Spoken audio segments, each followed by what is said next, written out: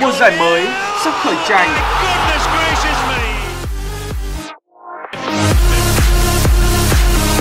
Những trận cầu đỉnh cao của những cầu thủ đẳng cấp.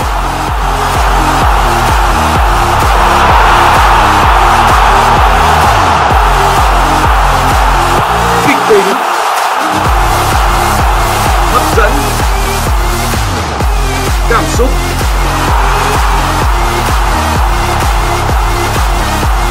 Và thăng hoa. Tất cả chỉ có tại Apple Cup mở rộng 2018.